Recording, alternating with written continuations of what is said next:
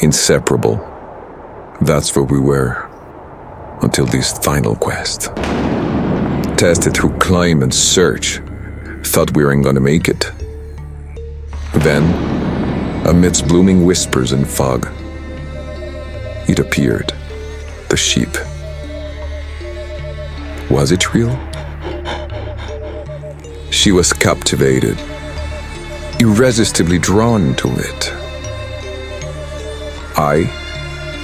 I was wary, hesitating. Should have stopped her. She looked at me one last time before reaching for it. And it took her from me.